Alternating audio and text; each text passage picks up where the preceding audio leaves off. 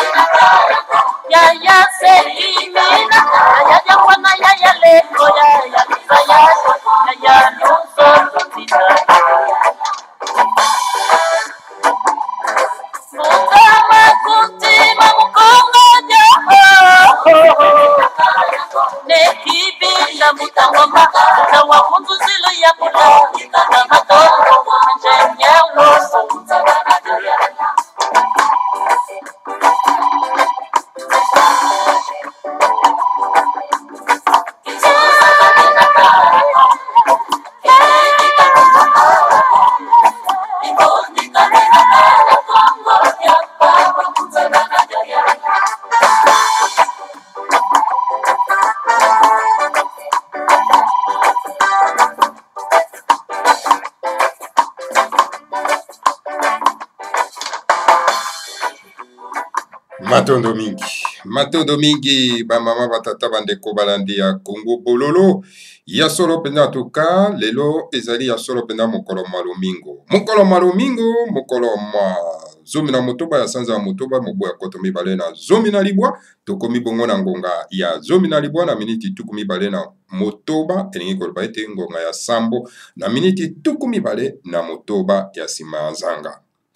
napesi bino banso bayenge bambote mpe balosako na bino banso ezali wa bino mbuta bopele bobala elingi koloba malamu koloba wana antuka ezali ndimbola ya nkombo ya ngai eh, na lokuta oyo tata nzambe ya pungtulendo le seigneur ya kongo atia na kati ya makila ma biso bangombe bamama tata bandeko oyo ezali donk eh, lokuta oyo tata nzambe akodifia na kati ya makila ma biso bamama tata bando alors na yango esengeli kopesa bana oyo ya yo antuka nkombo na lokota oyo tata nzambe ya mpungu tolendo le seigneur ya kongo akodifia na kati ya makila na yo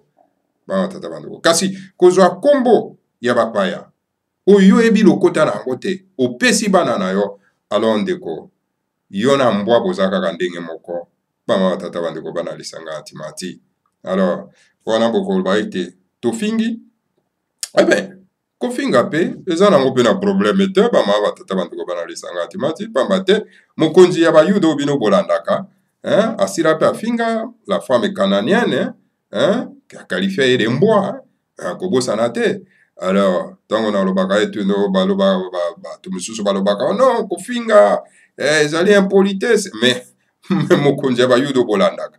afinga no alors ce qui fait que lui aussi ote eh, azalaki aussi impoli alors sikoyo bino bolandi moto oyo azali impoli aussi non ça ce n'est pas le problème wana tata bandeko bana lisanga antimati donc balansaka bamo negatif na bato oyo balingi kocomprendre eloko moko te meme baza koexplike bango ere oyo ya verso ezali ere ya verite bamama batata bandeko ere ya kinatimasa ezali ekeke oyo antuka bosolo eza kokita lokuta esengeli tosukola yango bamama batata bandeko bana esanga ya temati yango mona meme bato baza na kati na bonzambe na bapaya okomona bango bakotia anjelu na bango okomona batie na mapapu mondele cela veut dire ke mpo na moto moindo nzambe ya mpungu tulendo ayebi na ye moto moindo te donk na baanjelu bazalaka kuna epai ya tata nzambe ya mpungu tulendo bazalaka na bango kaka mindele ozomona cette aliénation mentale comment tokoki kobongisa mboka na biso tokotonga yango ndenge nini lorsqu'un peuple est aliéné de cette façon là aza ko se sentir inférieur par rapport aux autres esengeli koyeba yango te baloposo barase oyo toza nango na kati ya mokili oyo ezali tata nzambe ya mpungu toledo moto asalaki yango mpe apesi bato na bato loposo na bango apesi bango espace na bango apesi bango lokota na bango donk esengeli topesa ye lokumu selo nzela ya loposo na biso selo nzela ya bakoko na biso alors kotika nzela ya bakoko na yo kotika nzela ya loposo na yo mpo na ete okenda kolulaka loposo ya baninga alors donc oza kokometre un crime moko monene epai ya seigneur ya congo bama batata bandeko tozali koloba ondireke tozali koloba te bama batata bandeko bana esanga antimazi okomona ntango tokoloba na congo bololo bapartage émission na baimboka mpo ete bakoka mpe kozwa mayele mpe bwana alors ndeko akoloba akopesa akoyoka nde kanda alors akopartage na ye émission te epesi ye nde kanda eloko nini epesi yo kanda awa ntango bakumisi yo okoka kokumisa yo loposo epesi yo kanda ntango bayebisi yo ketala religion oyo yo ofandeli ofandeli yango maki eza ya biso te ezali bapaya bato bamemelaki biso yango mpo ete basosifie biso bakomisa biso lokola bakoni oyo ekauka yo oyoki mabe oyebi te ovandela kaka yango ovandela kaka lokuta yango bongo yo yaka mokili oyo kaka ozalaka na kati na lokuta ovandela kaka biloko ya lokuta eh? ose chosifie yo moko na kati ya yo oyaka na mokili oyo kaka ndenge wana mission yo oyaki nango na kati ya mokili oyo nini parce que moto na moto na kati na biso aye na mission quelle est votre mission sur cette planète terre yo ye kaka olandaka oyo ya baninga oyo ya yo olingi kokumisa yango te eputo ozwaki desizio na mokili ya molimo ete ngai nake na mokili mpo nasilisa makambo ya mabe oyo eza na kati ya espace culturel na ngai me sikoyo oye obungi oza osala misio na yo te alors bamama tata bandeko bana lisanga timati tolamuka tolamuka pamba te toza na ekeke ya kinatimasa ere ya verso ere ya verite linga bosembo Mokonzi ya Bayuda meme aloba ete vous connaîtrez la vérité et la vérité vous enfranchira. Bokoyeba bosembo mpe bosembo ekokangola bino. Mpo eloko ekangolaka bato eza bosembo. Sikoyo oza koboya bosembo balobela yo verite. Yo olobi yo oh non, toute vérité n'est pas bonne à dire. Alors donc eh, la vérité blesse. Oh. Verite ekoblesse ndenge nini to ekokangola yo. verite ekolongola yo donc na kati na boyinga verite ekosala ete okoka komiyeba mpe okoka kose defendre na kati ya planete oyo ye kolon ayebisi alobaki ndenge wana pamba te mpo abomaka bino boloba boyebisaka ye verite te ke non ozoboma biso yango wana alobi ke toute verite ne sont pas bonne à dire hmm? yango wana alobi ke non la verite blesse mpo na nini azoboma bino bino bofandaka kaka ya te ozoboma te ozosala malamu alors sikoyo tala yo donc un noir aliéné okomi koemploye le même euh, proverbe le même euh, euh, adage bamama batata bandeko ezalema bamama batata bandeko lelo toye kaka na congolieto moko oyo le grand maître fomanda asemi atie na kati ya réseaux sociaux epai ya ntuma mase mpo na ete tokoka kopesa bino tokabola yango biso nyonso to ensemble totanga yango mpe tolimbola yango biso nyonso to ensemble na likambo etali solo mpenza bundu dia mayala le grand maître fomanda asemi amatele na likambo etali bundu dia mayala mpo ebele bayebi te eloko nini oyo babengi bundu dia mayala bundu mayala ezali nini hein? eza un parti politique eza nini hein? est ce que parti politique wana eza na idéologie na yango nini est ce que baoyo baza kokɔta na kati ya bundu ya, ya mayala est ce que baza na idéologie wana ya bundu ya mayala pamba te le grand maître fumandasem aza koloba na likambo etali idéologie ya bundu ya mayala me bino bato boza na kati est ce que boyebi idéologie ya bundu ya mayala me soki boyebi yango ale defendez vous defende l'idéologie ya buno dabayala parce que bato balandaka parti politike na ideologie na yango ngai nakolanda bundu dia mayala par son ideologie soki ideologie ya bundu mayala ekoti na matiti ala ngai natelemi nakomi kobeta makerepa natelemi nakomi kobeta makerepa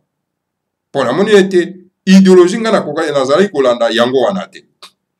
alors tout le monde na kati ya mokili oyo alandaka un parti politique par son ideologie omona bato mosusu baza na kati ya front national balandi ideologie ya front national parce que baza kose retrouve wana mpo na kodefendre mabele ya bakoko na bango alors donc bundu dia mayala a son ideologie oyo epai wapi moto ayebi kaka kodefendre mabele na ye akodefendre bosomi na ye akodefendre personnalité na ye yango wana akokɔta na kati ya bundu ya mayala mpo amilite na kati mpo na ye te akoka kodefendre mabele na ye panga tata bana alors donc tokotanga parce que mingi peut-être bayebi ideologie ya bundu dia mayala te alors tokoka kotanga ndenge ye mei le conservateur ya ideologie wana fumo mwanda asemi akomi yango awa tokoka kotala soki ezali nini avant tokenda kuna bamama batata bandeko tokorapele na bandeko toujours dans le cadre de mobilisation sensibilisation esengeli topesa bayi mboka l'esprit patriotique bamama batata bandeko tolobaka yango ntango iso ete la république démocratique du congo o lelo biso tozobenga la république fédérale du congo parce que tokotransforme yango n'est pas l'œuvre de nos ancêtres la république démocratique du congo ezali œuvre ya bakoko na biso te ezali œuvre ya, ya roi léopold d oyo azalaki un allemand oyo ndeko na ye ezalaki bismark ye moto akreaki donc la république démocratique du congo ntango toza kotransforme yango tokomisi yango la république fédérale du congo epai les six provinces oyo leopold akreaki ekokoma baétat fédéré na kati ya fédération ya congo bamama tata bando alors donc kofanda wana mpo na ete to defendre mindelo wana ezali aberration nayokaki moto babengi solo mpena en tout cas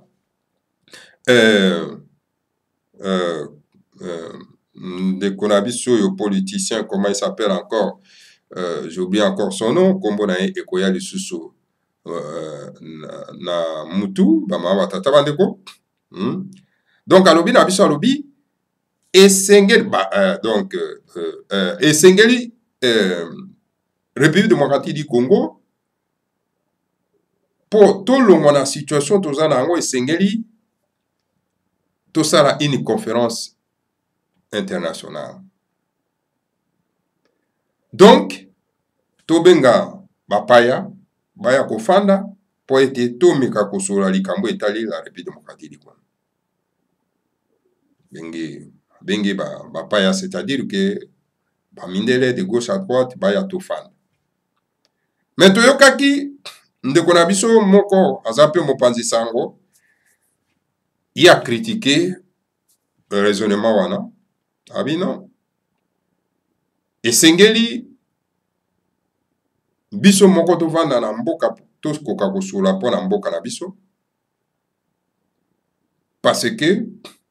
mboka ezali ya biso ezali ya bapaya te bapaya bazali koya na makanisi mosusu na nsima mais alors bamama batata bandeko bana lisanga ya timati soki ndeko oyo alobaki yango komona ekoya alobaki yango parce que azomona isi ya sorti te ya mboko tobengi la république démocratique du congo abi aussi longtemps que tokotia baverité likolo ya mesa te na bato baconcevaki la république démocratique du congo tokoson sortir te tokotourne en rond ouais. d'un côté aza na ye na raison bamama batata bandeko Parce que bato ba créaki la République démocratique du Congo basalaki un marché commun na bango epa wapi bango tu bakoya kotia maboko mpo bazwaka kitao ezali kuna ezali réserve mondiale baya kozwaka kitao baza na yango ya posa meme ata bino boza kokufa ye ata boza kolela ye ata boza na pauvrete etali bango te etali bango te mpo bango bakreaki yango mpo ezala na bonheur ya bino te ma ezala na bonheur mpo na bango ezali jenkle mpa wapi moto nyonso tu akoya kokotisa maboko mpo na ye te akoka kopie ndenge alingi bamama ya tata wana alors ndeko alobi esengeli tofanda tosolola mpo boye tokosila toexplike na bango totransforme tosala ndenge ekoka kobeneficie na biso nyonso bajournaliste mosusu na kati na mboka akritike donc cette idée po toboyi kritiki te kritike eza malamu ekopermetre bato mpo na ete bakoka kosameliore bakoka solo mpenza kodevelope makanisi na bango mama batata bando bakritike kino eza ide malamu te parce que mboka ezali ya biso mais esengeli koyeba ete la création ya rdc comme frontière wana tolobi hérité de la colonisation eza bakoko na biso bato basalaki yango te mais esengeli baoyo basalaki yango baya tofanda mpo bopie mpe yango mingi bandeko na biso mpe bakufi ebele kokata maboko me esengeli nao tovanda tosolola totala nao modalité ya pillage na bino na kati ya mboka oyo voilà bamawa tata bandeko bana esanga timati botala bino moko mboka monene ndenge wana bake kozwela biso mopaya na kati ya tanzanie batie na moto ya mboka afanda wana kaka mpo asunga bango mpo na kopie ipoliti kanambe hmm? afandi mpe 18 ans mobimba balingi ye mpe akende te bafandisi ye wana baza koconcevoir ba, ba stratégie nyonso tu ndenge nini akoki kotikala kaka na bokonzi seko na seko na kati ya mboka wana yango omoni baparlement etondi na bato na ye kaka bagouverneur etondi na bato na ye kaka donc abibo yo tilombo ozala wana toyebi quand est ce que tokobengana yo mais c'est ça c'est quoi ça finalement tata bandeko alors maintenant la responsabilité eza sikoyo na maboko ya moko na moko na biso esengeli sikoyo tosala soko na appel reprise stratégique na kati ya ba province na biso bato na bato bazonga na baprovince na bango mpo baconstitue ce qu'on appelle eh, la résistance mpo ntongo tokoconstitue résistance na biso ekopermettre ete bato na bato bayeba kodefendre mabe na bango bamatando oyo balobaka oyo tolobaka sauf qui pe par province lokola mpe mboka ekokoma solo mpenza tuka état fédéral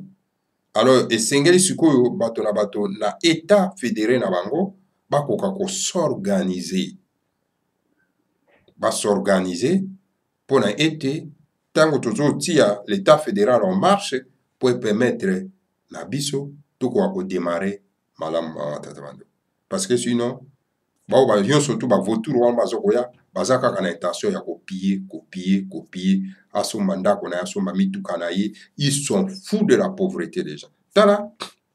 bandeko baza kolela bamanifestation de gauche à droite mais tala ndeko na biso tilombo ye wana aza kosionaka nde akomi na ye nde kotambolaka partout est ce que moto oyo alingi mboka na ye akoki mpenza solo mpenza en tout cas kotika ndenge mboka eza ko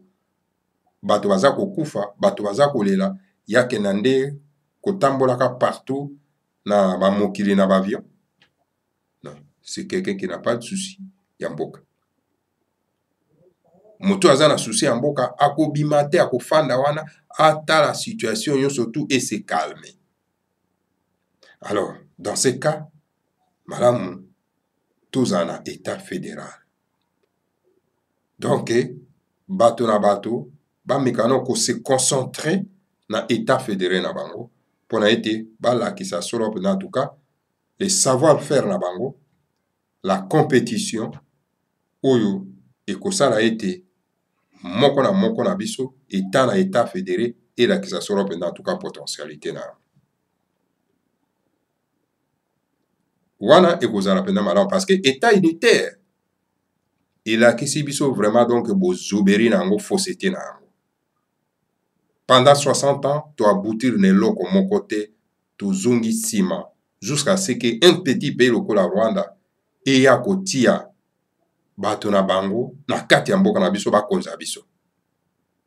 epuis bakolo mboka baza meme mpa na mwa dure na situation eza koleka bajournaliste oyo bazali sense ya kodétruire lokuta wana bakomi miwe bakomi bakolabo ce n'est pas normal bama batata bandeko c'est pas normal yango wana esengeli chaque peuple alakisa potentialité na ye esengeli sikoyo balider babima basemerge na kati ya bamabota na mabota ya baetat autonome hein? alors banotion wana ya koya koyebisa biso ke no aba le tribalisme c'est de n'importe quoi n'importe quoi bamama batata bandeko n'importe quoi voilà en gros bamama batata bandeko bana lisanga antimati Situation eza na mboka ezali très chaotique. Eza chaotique esengeli sikoyo toyeba ko se relancer toyeba kotema na bopikiliki toyeba kobatela mabele eloko oyo nzambe apesaka na bato ya motu ezali mabele kobungisa mabele ezali kobunga na kati ya mokili oyo mpo na kati ya mabele yango nde okobeta briki mpo otonga ndako na kati ya mabele yango nde okotoka mai na kati ya mabele yango nde okoboma mbisi ya kati ya mabele yango nde okozwa banyama na kati ya mabele nde okozwa bakita nyonso tu oyo tata nzambe apongotono nde atia na kati ya mabele wana me kozwa mabele na biso kobungisa yango kopesa yango na bapaya babrade yango ndenge baza kobrade lelo c'est vraiment l'irresponsabilité na part na biso voilà un peu bamama batata bandeko bana lisanga atumati wana nayaki te mpo na koya koloba yango kasi esengelaki kaka na koya koloba mwa moke bamama batata bandeko kasi toye nde mpo na kopesa kongo dieu to alegre mete fomanda nsemi voilà totali kongo dieu to 3364 yango elobi nini l'esprit communautaire africain est le socre de notre idéologie L'esprit communautaire africain est le socle de notre idéologie du parti politique Bundudia Mayala. Notre idéologie est le socialisme africain. Il est la codification de l'esprit communautaire africain. Il est le frère jumeau de socialisme marxiste, alias le prétendu socialisme scientifique. Le grand maître Fumandase Malobi, parti Bundu Diamayala, ezali parti politique oyo eza na idéologie donc ya socialisme donc ezali parti politique oyo eza na codification ya elimo ya communauté africaine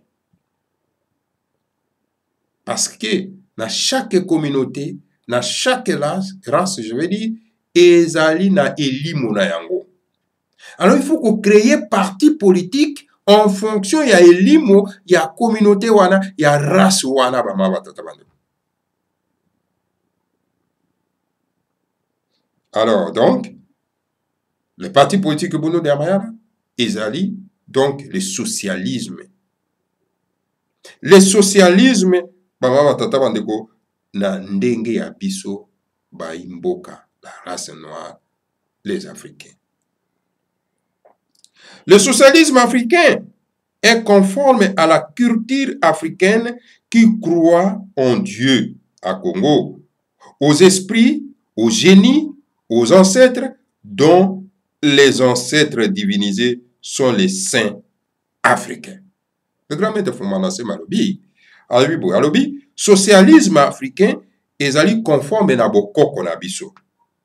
na bokoko na biso bana kacopa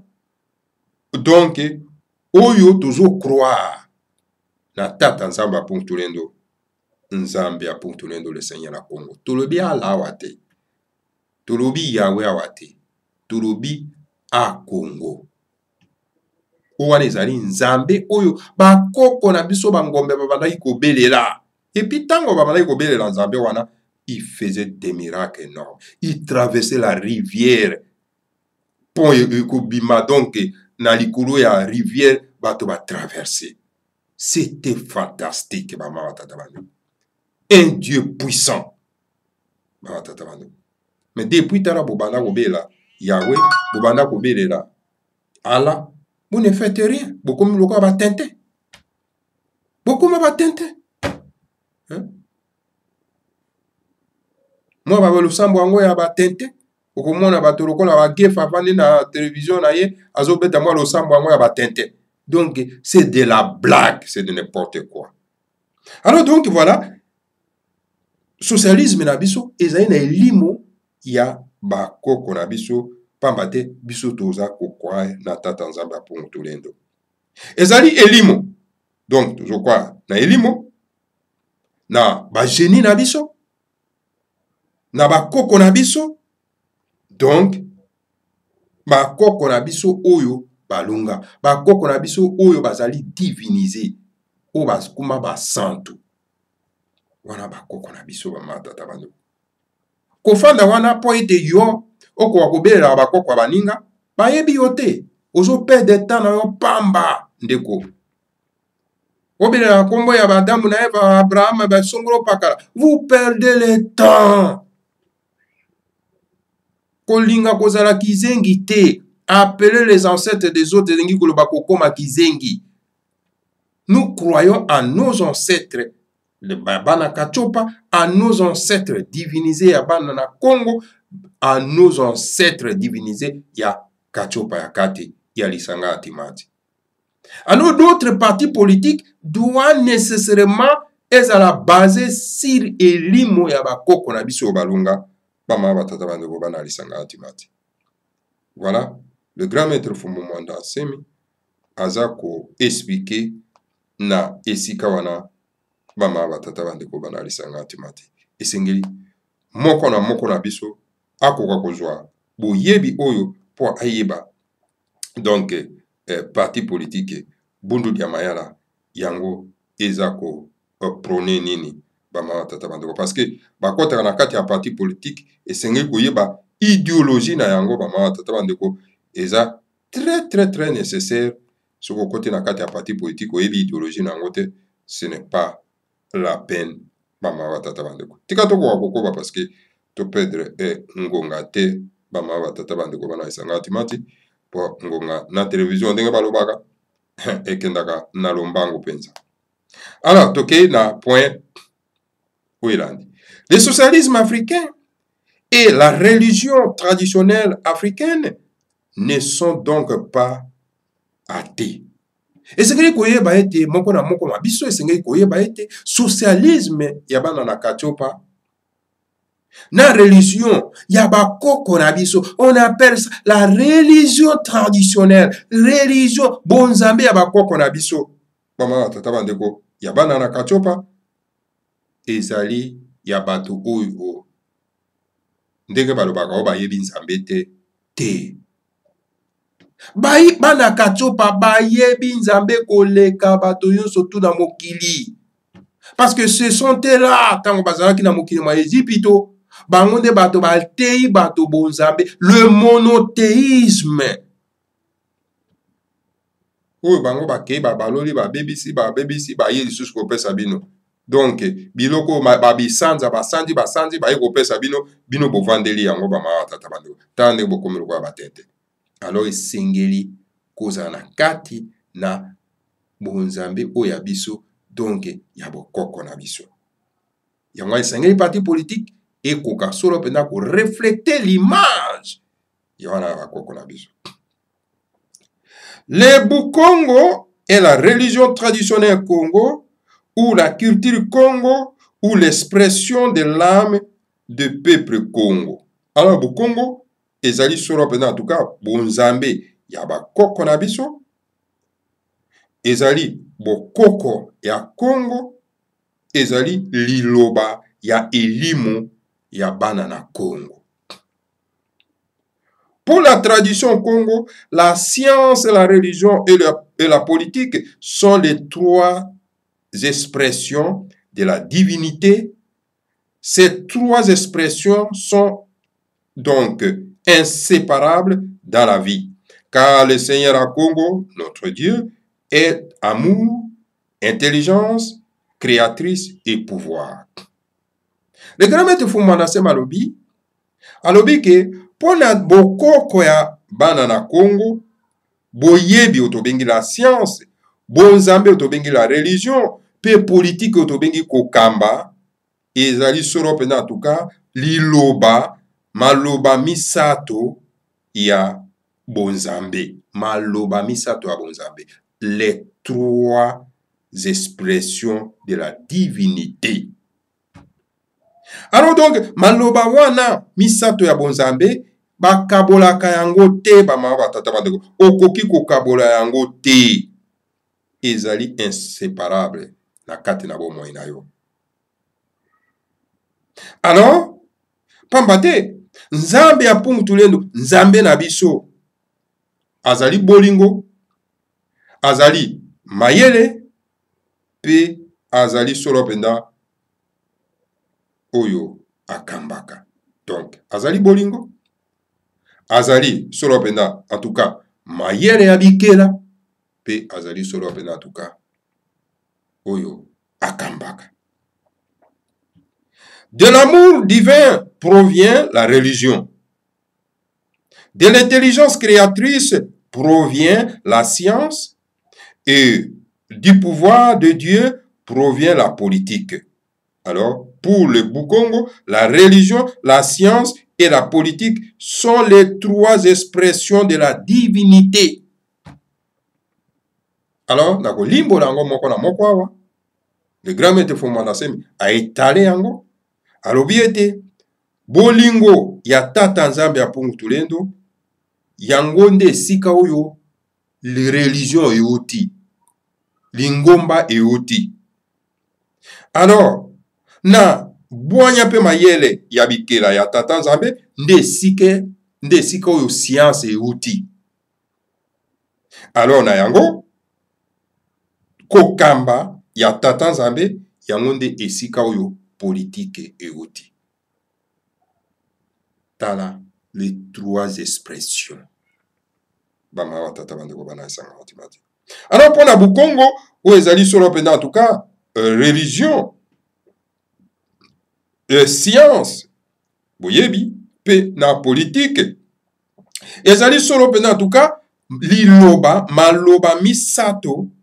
ya bonzambe esengeli koyeba eloko wana les trois expressions makuku matatu hein? voilà bamama batata bandeko banalisa nga atimati alors tozali kokoba ya kokoba bamama tata bandeko tokei sikoyo na point 6 euh, hmm? la sagesse congo enseigne qu'il est très dangereux de laisser la politique aux seuls voyous sans moralité et la religion sans moralité, je veux dire, et la religion améliore la moralité de l'homme. Bundu dia Congo où le parti Bundu Diamayala est un parti politique, politico-religieux. le grand maître fumba na sema alobi alobi en tout cas na lolenge ya kotala mokili ya, ba, ya congo ezali koteya biso ete ezali solo mpenza likama monene ya kotika solo mpenza politike na maboko ya bato ya maboma sans bonzambe na kati na bango ezali likama monene kozwa mboka ya monene lokola congo botika yango na maboko ya hippolyte kanambe oyo azangi moralité oyo azali bandi oyo azali terroriste assassin criminel bozwi mboka monene bobotiki na maboko na ye mpe boza komilite ke azala kaka wana mpo atiaka bato na bafausse commune eza likama mpenza monene bamama batata bandeko likama eza likama alors na yango bonzambe euh, donc euh, lingomba yango mosala na yango ezali koameliore koameliore kobongisa solo mpenza en tout cas moto kobongisa moto pamba te ebundu dia congo donc na parti politike bondo dia mayala ezali parti politike religieux bondo dia mayala na bondo dia kongo ezali ba eloko moko bamama tata banda le bukongo distingue deux sortes des ancêtres. Les ancêtres ordinaires et les ancêtres évolués spirituellement. ou les ancêtres divinisés comme Mbuta Kimbangu, Mbuta Philippe Mbumba, Mbuta Matai Mwanda, Mbuta Ma, euh, euh, Metusala Nkembo, Mbuta euh, euh, Ntetele Yona, Mbuta Mpadi Makengo, Ne Nzala Pandu, et moi j'ajoute Mbuta Batapala. moko oyo alobaki na kati na bana bangombe ete ya kufi na lisasi kasi moko te akotikala kokufa na lisasi pe liloba wana etikala ti lelo azali oyo alunga po azali divinise pamba ya batata ba ndeko bana lisanga na timati ndeko ya mbuta kimbangu parceke mbuta kimbangu azali donke moko ya na biso bangombe hein? yeah. bakongo bosakapare na ye te toke koluka te torekipere eh, bamama tata bandeko torekipere ndeko na biso moi tokangi bino na pwasa eh, bamama tata bandeko voilà. bien kabotami kuna na congo central kasi origine na ye eza epa bangombe hmm? aya ah, bamama tata banda voilà bamama tata banda ko tozobe kokoba hmm. donc voilà tozalaki na point eh, eh, eh, point eh, 7 mm -hmm. alors le grand maître alobi donc alobi na kati na bokongo toza kodistingue toza kokabola de sorte ya bakoko bakoko ordinaire bakoko bazali ordinaire oyo bazali agissant te baza tout simplement ordinaire oyo basala nkombo te oyo basala likambo ya minene te epuis na bakoko oyo solo mpenza bazali oyo balunga oyo eh, bakola na molimo hmm? epai wapi bakoko oyo solo mpenza en tout cas baza divinise lokola bambuta kimbangu hein? donc nauti kotanga bakombo wana bango bazali baoyo hein, balunga baoyo basala bamakamusi bo basala mission na bango mpe basilisa en langue kikongo le mot mwanda veut dire l'esprit Nsemi veut dire le créateur. Ainsi, Mwanda Nsemi veut dire l'esprit créateur. Tandis que Mwanda Velera veut dire le pur esprit, l'esprit de Dieu. Donc, na lokota ya kikongo balobi na biso babi ke mo oyo tobengi mwanda elingi koloba elimo nsemi elingi koloba mokeli ezali kokela alors na yango mwanda nsemi elingi koloba elimo ya kokela alors tandis que mwanda velela elingi koloba ete elimo ya solosolo mpenza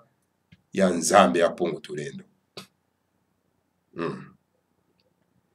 Le Seigneur Mwanda Congo est le génie superviseur du peuple Congo. Le Seigneur Mwanda Congo est le Dieu Congo. Le Seigneur à Congo, il est le Nekongo Kalunga wa Lungila Mubabo ye ebiabio le grand maître fuma na sema de kotika alobi alobi le seigneur mwanda congo ye azali solo mpenza en tout cas le génie oyo azali kokengela solo mpenza bana ya congo alors et le seigneur mwanda congo azali solo mpenza en tout cas die congo nzambe ya congo Alors, le Seigneur a Congo, le Seigneur a Congo, Nzambe a Pongo Tulendo. Donc, Yazali solo penda, ne Congo Kalunga, Walongila, Mubabo, Yebiabio. Il faut qu'on ko distinguer yon soan.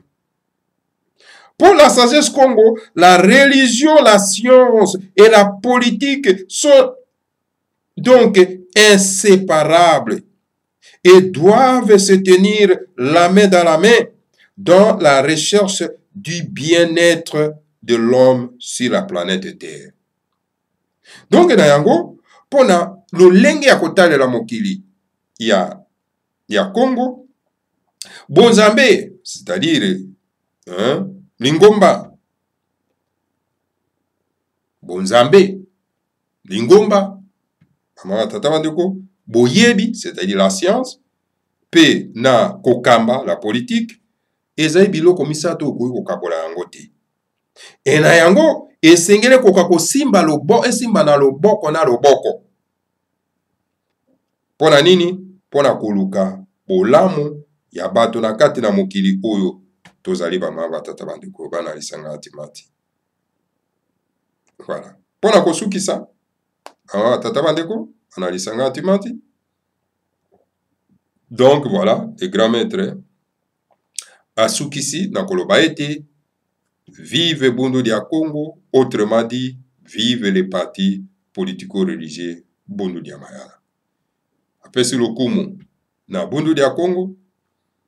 yango wana donke apesi lokumu solo mpenza na parti politique oyo religie na nkombo ya bundu dia mayala donc voilà bundu dia mayala ezali solo mpenza parti politique religieux ezali n'importe quel parti politique te ezali dps te ezali mlc te ezali nlc te ezali baparti politike oyo nyonso eza na baconnotation ya bapaya te c'est pour cette raison kozala na kati na bundu ya mayala esengeli oyeba bonzambe ya biso esengeli oyeba solo mpenza en tout cas hein? bakoko na biso balonga okoki kozala chrétien te non kozala na kati ya bundu ya mayala esengeli koyeba bonzambe ya biso oyo nga pastere nakomi nazwa poste na kati ya bundu ya mayala me bundu ya mayala eza esika ya positionnement te ya koluka ba poste te il faut koyeba bonzambe na biso mpo ozala na kati mpo yango eza kotambola na elimo na yango bamatata bandeko awa le grand maître fumanda nsema aza koexplike yango très bien c'est un parti politico religieux et quand on dit religieux on fait pas allusion o nga naza chrétien o nga nazali eh, eh, eh, nini branham o nga nazali eh, eh, protestant o nga naza catholique non non non non non c'est de la foutaise la foutaise Et quand on dit parti politique, parti politico-religieux, on fait allusion à la religion traditionnelle, c'est-à-dire religion ya bonzambe na biso. sikoyo sikoyo yo moto oza na kati ya bundu ya maya ozali na kati ya religion traditionnelle soki oza na kati ya religion traditionnelle te donc place no eza na kati ya bundu ya mayala te place ino eza na kati ya bundu diamayala te alors convertissez-vous na kati na religion traditionnelle